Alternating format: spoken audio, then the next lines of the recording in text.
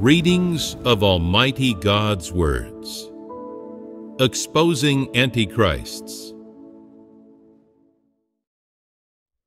Excursus 3 How Noah and Abraham obeyed God's words and submitted to Him. Part 2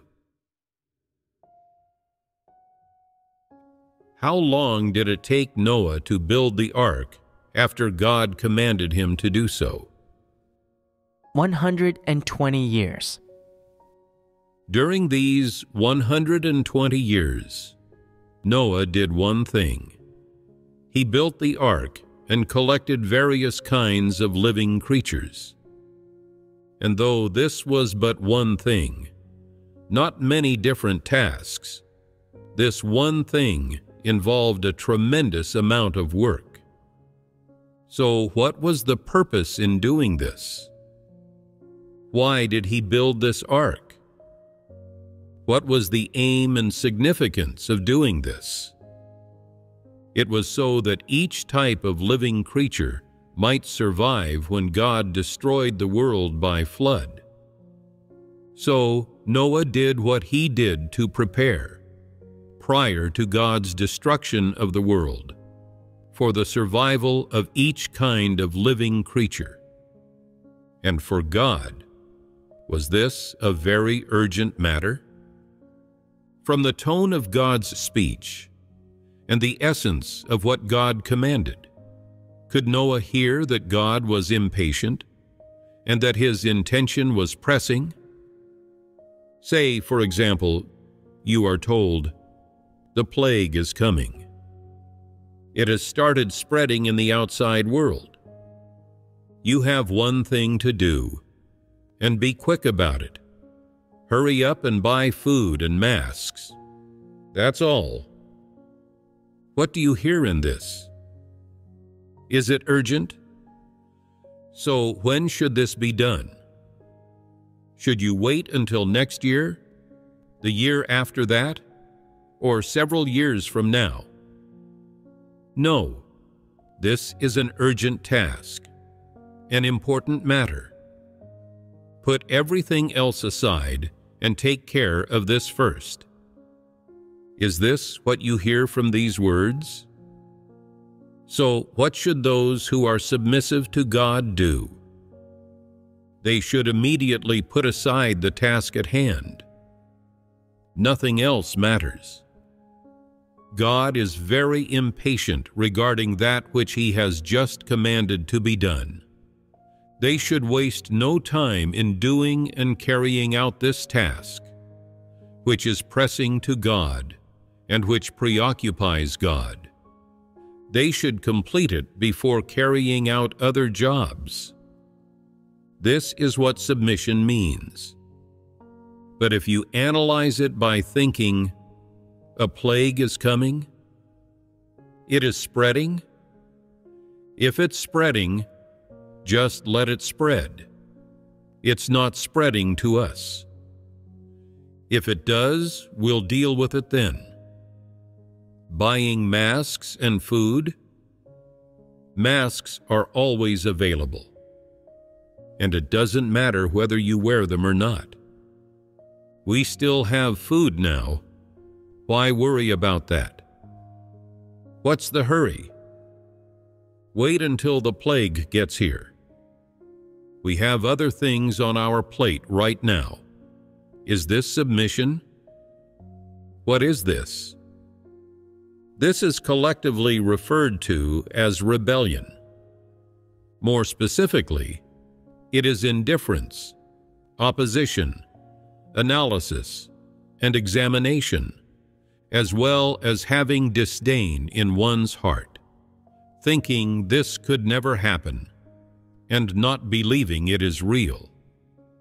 Is there true faith in such an attitude? Their overall status is this. In regard to the words of God and toward the truth, they invariably have an attitude of dragging their heels, of indifference, of carelessness. In their heart, they don't see this as important at all. They think, I'll listen to the things you say that relate to the truth and to your lofty sermons. I won't hesitate to note these down so I don't forget them. But the things you say about buying food and masks don't relate to the truth, so I can reject them. I can ridicule them in my heart, and I can treat you with an attitude of indifference and disregard. It's enough that I listen with my ears. But what I think in my heart is not your concern. It is none of your business.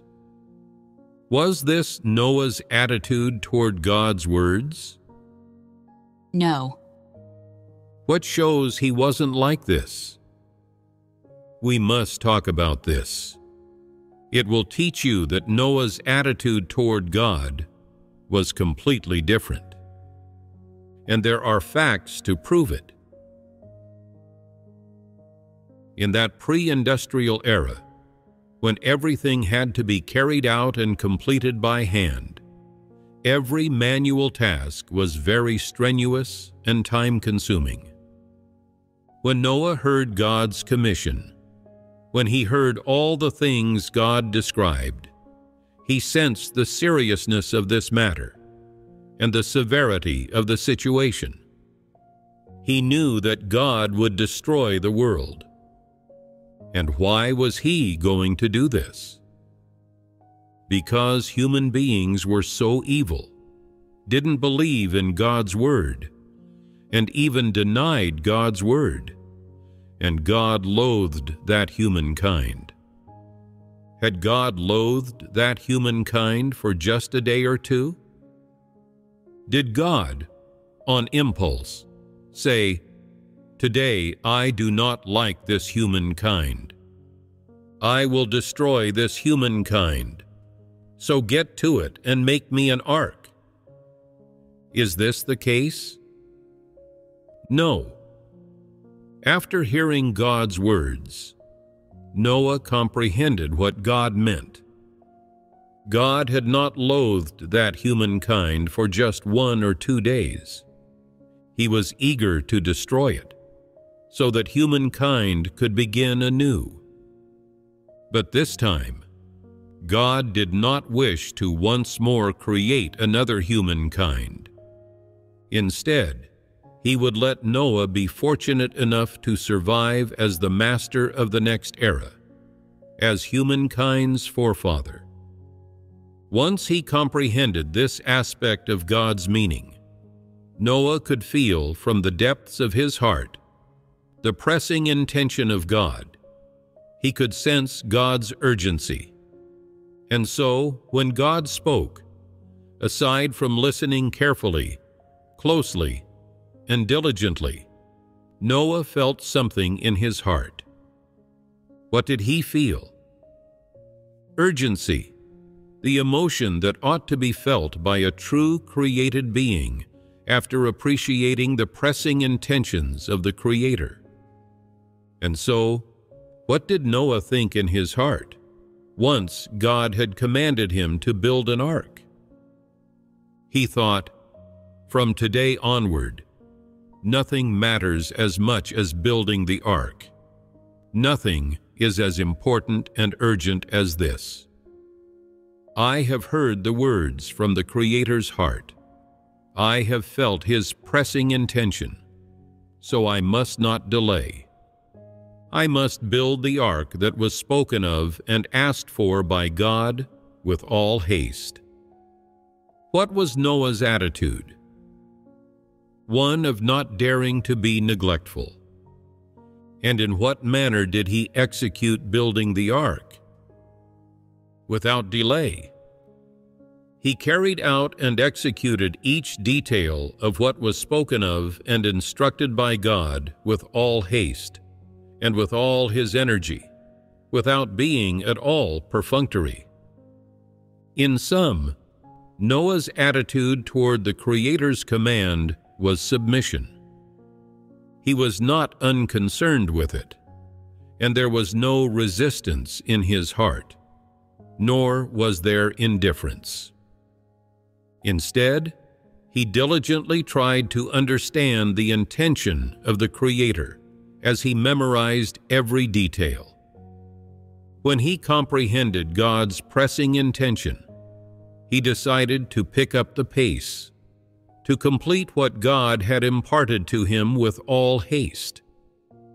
What did this mean, with all haste? It meant completing, in as little time possible, work that would previously have taken a month, getting it done perhaps three or five days ahead of schedule, without dragging his feet at all, or the least procrastination, but pushing ahead with the whole project as best he could. Naturally, while carrying out each job, he would try his hardest to minimize losses and errors and not to do any work such that it would have to be repeated. He would also have completed every task and procedure on schedule and done them well, guaranteeing its quality. This was a true manifestation of not dragging one's feet. So, what was the prerequisite for his being able not to drag his feet? He had heard God's command Yes, that was the prerequisite and context for this. Now, why was Noah able not to drag his feet? Some people say Noah was possessed of true submission. So, what did he possess that allowed him to achieve such true submission? He was considerate of God's heart. That's right. This is what it means to have heart. People with heart are able to be considerate of God's heart. Those without heart are empty shells, fools. They do not know to be considerate of God's heart. Their mentality is, I don't care how urgent this is for God. I'll do it however I please. In any case, I'm not being idle or lazy. This kind of attitude, this kind of negativity, the total lack of proactiveness, this is not someone who is considerate of God's heart, nor do they understand how to be considerate of God's heart. In which case, are they possessed of true faith? Definitely not. Noah was considerate of God's heart. He had true faith and was thus able to complete God's commission. And so, it is not enough to simply accept God's commission and be willing to make some effort. You must also be considerate of God's intentions. Give your all and be loyal, which requires you to have a conscience and reason it is what people ought to have, and what was found in Noah. What do you say? To build such a big ark at that time, how many years would it have taken if Noah had dragged his heels and had no sense of urgency, no angst, no efficiency? Could it have been finished in 100 years? it would have taken several generations of constant building. On the one hand, building a solid object like an ark would take years. What's more, so would collecting and looking after all the living creatures. Was it easy to collect these creatures? It was not. And so, after hearing God's commands, and comprehending God's pressing intention, Noah sensed that this would be neither easy nor straightforward. He realized that he had to accomplish it according to God's wishes and complete the commission given by God, so that God would be satisfied and reassured, so that the next step of God's work could proceed smoothly. Such was the heart of Noah. And what kind of heart was this? It was a heart that was considerate of God's intentions. Judging from Noah's behavior in building the ark, he was absolutely a man of great faith and did not hold any doubts toward God's word for a hundred years. What did he depend on? He depended on his faith in and submission to God. Noah was able to submit absolutely. What are the details of his absolute submission? His consideration. Do you have this heart? You are able to speak doctrines and call out slogans, but you can't practice. And when faced with difficulties, you can't put God's commands into effect. When you talk, you talk very clearly. But when it comes to actual operations and you are faced with some difficulty, you become negative. And when you suffer a little, you start to complain wanting to just give up. If there was no heavy rain over eight or ten years, you would become negative and doubt God. And if another 20 years passed without heavy rain, would you continue to be negative? Noah spent more than 100 years building the ark and never became negative or doubted God. He just kept on building the ark. Who else but Noah could have done this? In what ways are you lacking? We don't possess normal humanity or conscience. That's right. You don't possess Noah's character. How many truths did Noah understand? Do you think he understood more truths than you? You have heard so many sermons the mysteries of God's incarnation, the inside truth of God's three stages of work, God's management plan. These are the highest and most profound mysteries expressed to mankind, and all of these have been made clear to you. So how is it that you still do not possess Noah's humanity and are unable to do as Noah was able to do? Your faith and humanity are so inferior to Noah's.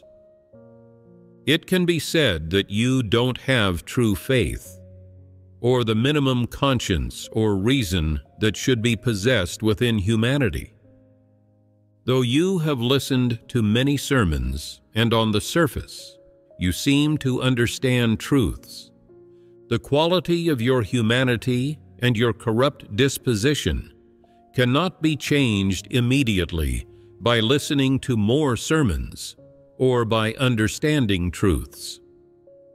Without discernment of these things, people feel that they aren't too inferior to the saints of old, thinking to themselves, we are now accepting God's commission too, and listening to the Word of God from God's own mouth we are also taking every single thing that God asks us to do seriously. Everyone fellowships on these things together, and then does the work of planning, deploying, and carrying things out. How are we any different from the saints of old? Is the difference you see now large or not? It is enormous primarily in regard to character. People of today are so corrupt, selfish, and despicable. They don't lift a finger unless they benefit from it. They find that doing good things and preparing good deeds requires a lot of effort. They are willing to do a duty but have no willpower. They are willing to suffer but can't take it. They wish to pay a price but can't do it. They are willing to practice the truth but can't carry it out. And they wish to love God but can't put this into practice. Tell me just how lacking this type of humanity is.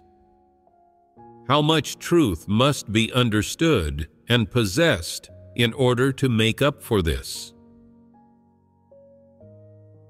We just fellowshipped in regard to Noah's consideration of God's intentions, which was a precious part of his humanity.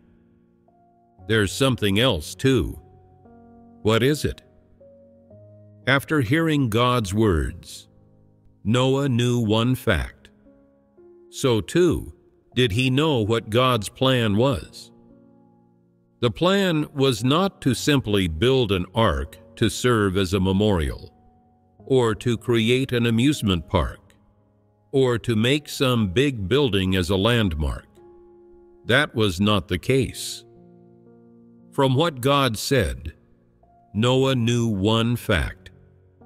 God loathed this humankind, which was wicked, and had determined that this humankind was to be destroyed by flood.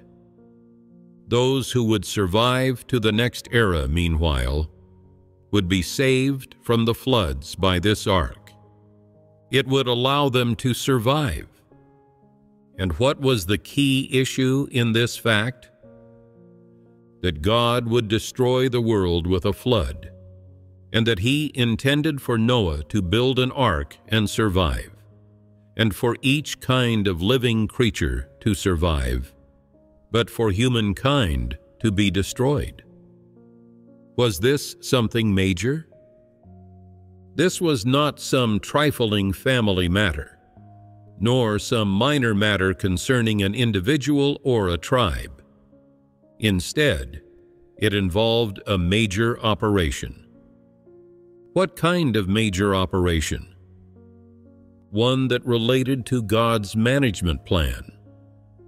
God was going to do something big, something that involved the whole of humankind, and which related to his management to his attitude toward humankind, and to its fate. This is the third piece of information that Noah learned as God entrusted this undertaking to him. And what was Noah's attitude when he heard of this from God's words? Was it one of belief, doubt, or total disbelief? Belief. To what extent did he believe? And what facts prove that he believed this? Upon hearing God's words, he began putting them into practice and built the ark as God had said, which means that his attitude toward God's words was one of belief. From everything that was exhibited in Noah, from the level of execution and implementation after Noah accepted what God had entrusted to him, to the fact of what was ultimately accomplished. It can be seen that Noah had absolute belief in every word that God had uttered. Why did he have absolute belief? How did he have no doubts? How is it that he did not try to analyze that he did not examine this in his heart. What does this relate to? Faith in God. That's right. This was Noah's true faith in God. Therefore, when it came to everything that God spoke of and his every word, Noah did not simply listen and accept. Instead, he had true knowledge and faith in the depths of his heart. Though God had not told him the various details, such as when the floodwaters would come, or how many years it would be before they did, or what the scale of these floods would be, or what it would be like after God had destroyed the world. Noah believed that all God had said had already become fact. Noah did not treat God's words like a story, or a myth, or some saying, or a piece of writing, but in the depths of his heart believed and was certain that God was going to do this, and that no one can change what God determines to accomplish. Noah felt that people could only have one attitude toward God's words, and that which God wishes to accomplish, which is to accept this fact, submit to what is commanded by God, and cooperate in the tasks that God asks them to cooperate in. This was his attitude. And it was precisely because Noah had such an attitude.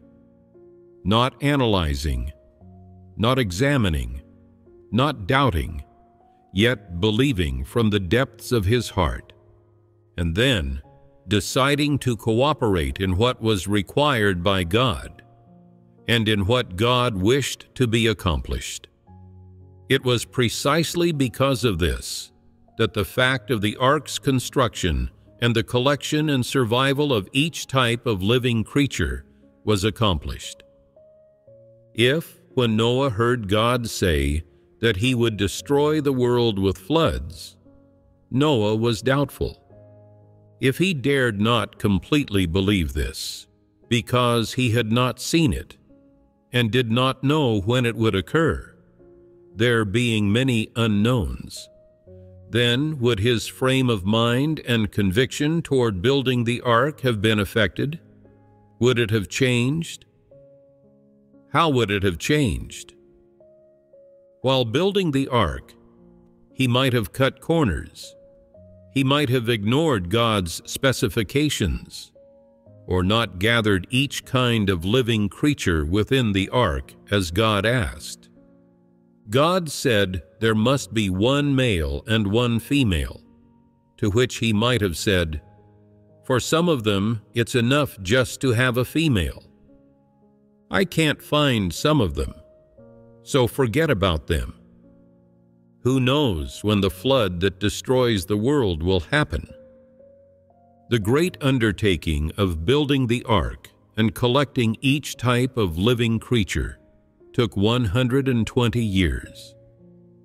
Would Noah have persisted for these 120 years if he had not had true faith in God's words? Absolutely not. With interference from the outside world and various complaints from their family members, for someone who does not believe that the words of God are fact, the act of building an ark would be very difficult to accomplish, let alone if it would take 120 years.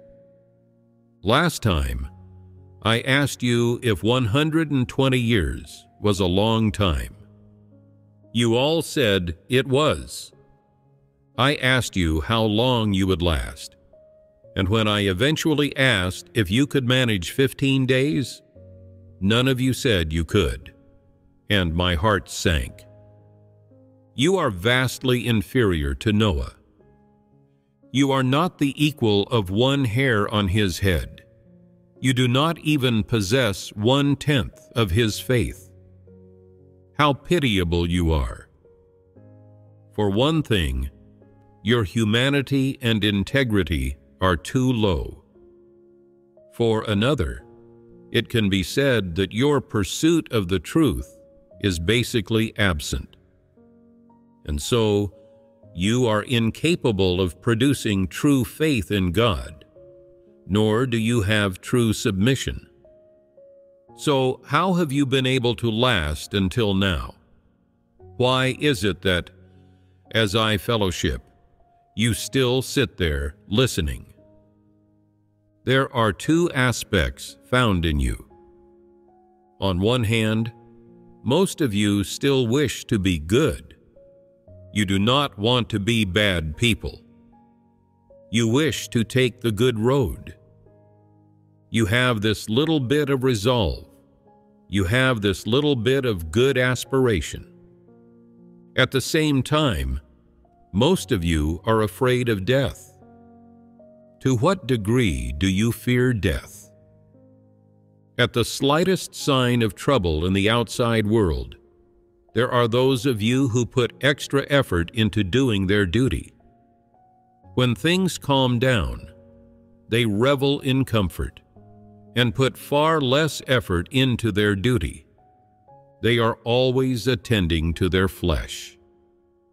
Compared to the true faith of Noah, is there any true faith in what is manifested in you? No. I think so too.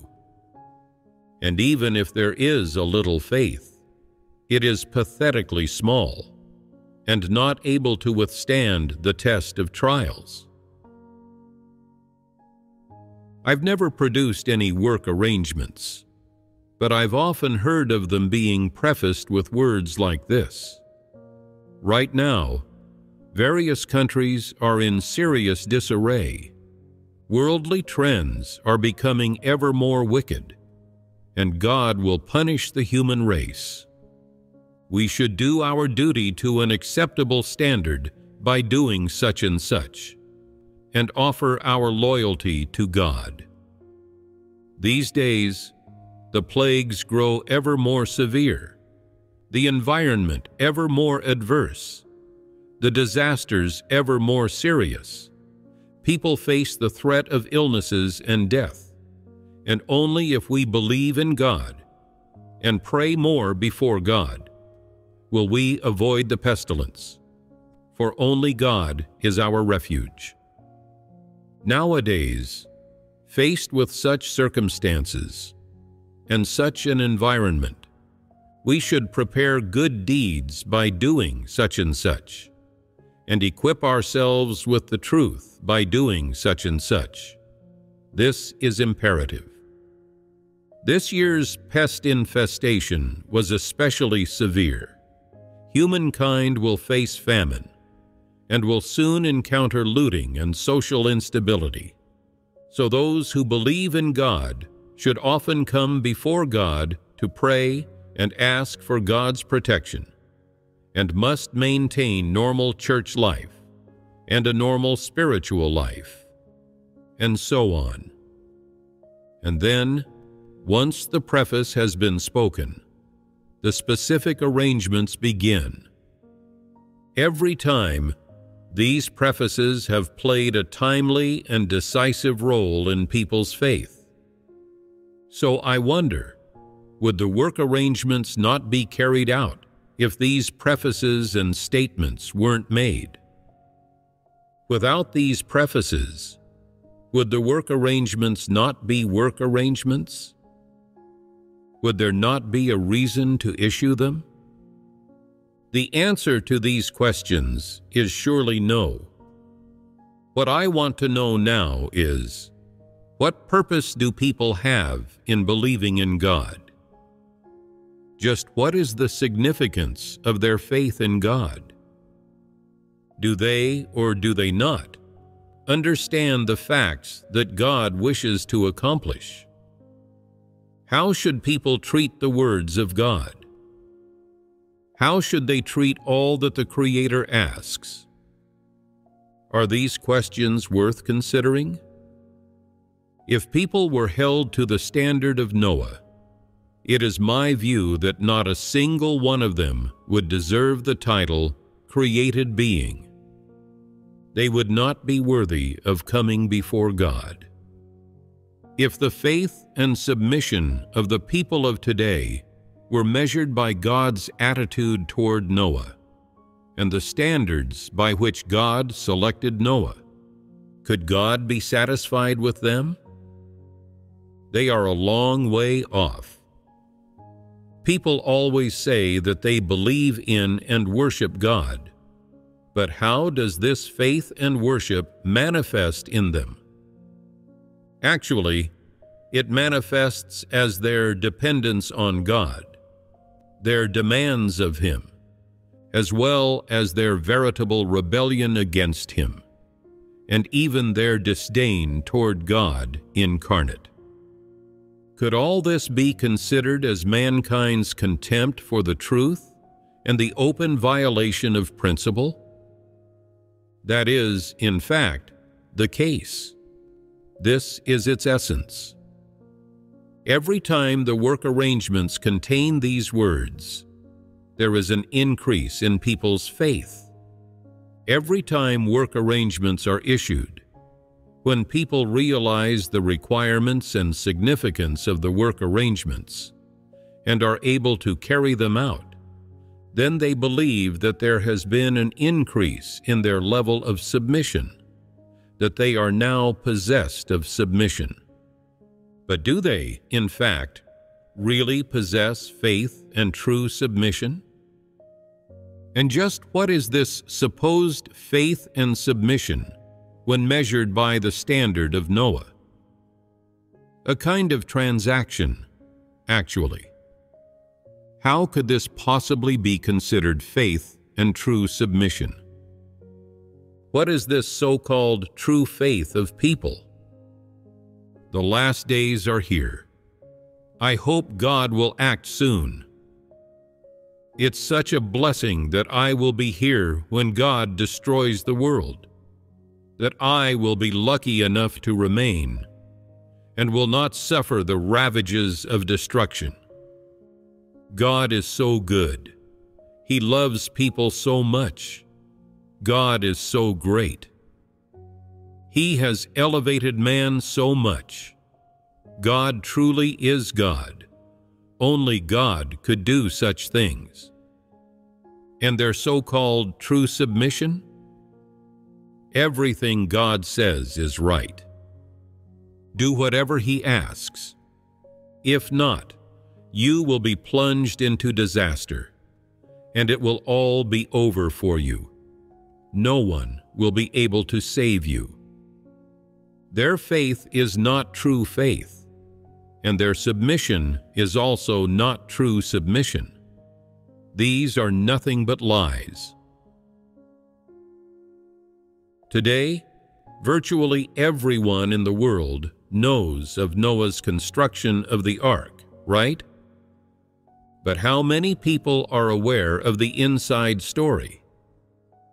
How many people understand the true faith and submission of Noah?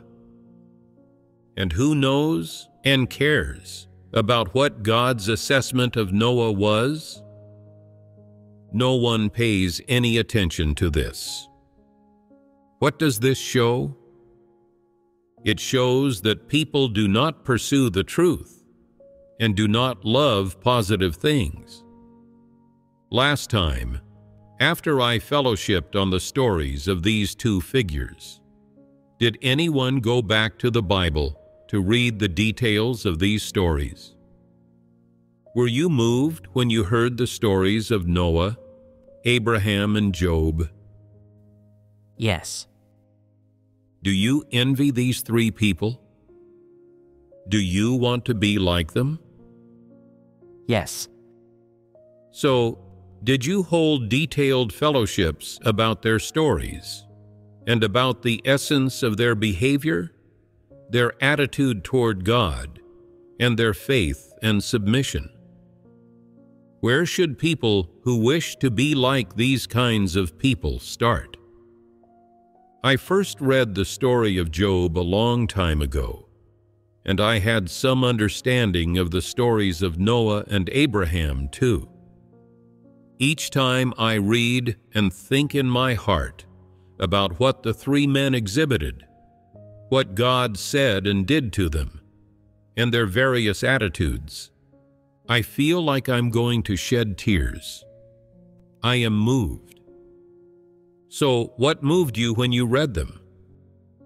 Having listened to God's fellowship I finally came to know that when Job was undergoing his trials, he thought that God was suffering for him. And as he didn't want God to suffer, he cursed the very day he was born. Every time I read this, I felt that Job was truly considerate of God's intentions, and I felt very moved. What else? Noah went through such hardships when building the ark yet he was still able to show consideration for God's intentions. Abraham was granted a child at 100 years of age and was filled with joy. But when God asked him to offer his child, he was able to obey and submit, yet we can't do that. We do not have the humanity, conscience, or reason of Noah or Abraham. I am filled with admiration when I read their stories, and they are models for us to follow.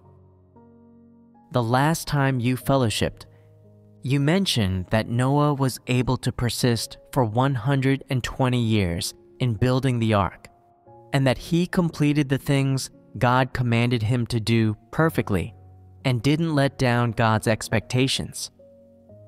In comparing this with my attitude toward my duty, I see that I have no perseverance at all. This makes me feel guilty as well as moved. You're all moved, right? We won't fellowship on this topic for the time being. We'll discuss all this after we've finished up with the stories of Noah and Abraham. I'll tell you which parts moved me, and we'll see if they were the same ones that moved you. We just fellowshipped about Noah's true faith in God. The established facts of his building the ark are sufficient to show his true faith.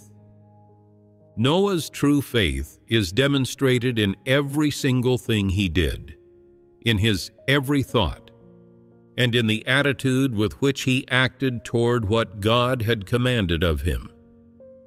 This is enough to show Noah's true faith in God, faith which is beyond all doubt and utterly pure. Regardless of whether what God asked him to do was in line with his own notions, regardless of whether it was what he had planned to do in life, and regardless of how it conflicted with the things in his life, much less how difficult this task was. He had but one attitude acceptance, submission, and implementation.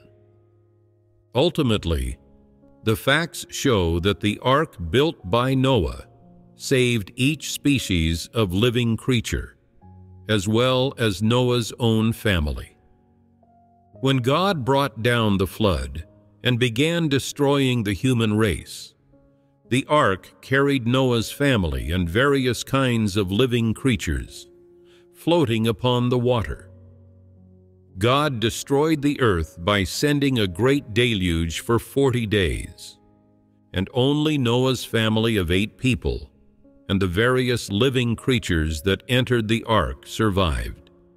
All other people and living things were destroyed. What is seen from these facts? Because Noah was possessed of true faith and true submission to God. Through Noah's true cooperation with God, everything God wished to do was realized. It all became a reality. This was what God valued in Noah, and Noah did not disappoint God. He lived up to the important commission that God had given him and completed all that God had entrusted to him. That Noah was able to complete God's commission was, on the one hand, because of God's commands, and at the same time, it was also largely due to Noah's true faith and absolute submission to God. It was precisely because Noah possessed these two most cherished of all things that he became loved by God.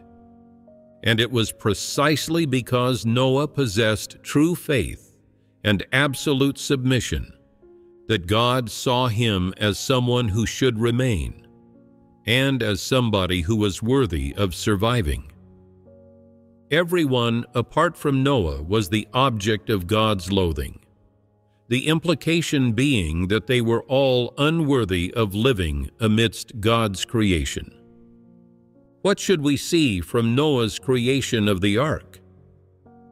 For one thing, we've seen Noah's noble character. Noah was possessed of conscience and reason. For another, we've seen Noah's true faith and true submission toward God. All of this is worthy of emulation. It was precisely because of Noah's faith and submission toward God's commission, that Noah became beloved in the eyes of God, a created being that was loved by God, which was a fortunate and blessed thing. Only such people are fit to live in the light of God's countenance. In God's eyes, only they are fit to live. People who are fit to live. What does this mean? It means those who are worthy of enjoying all that which could be enjoyed that God has bestowed upon mankind, worthy of living in the light of God's countenance, worthy of receiving God's blessings and promises. People like this are beloved by God. They are true created human beings and are the ones God wishes to gain.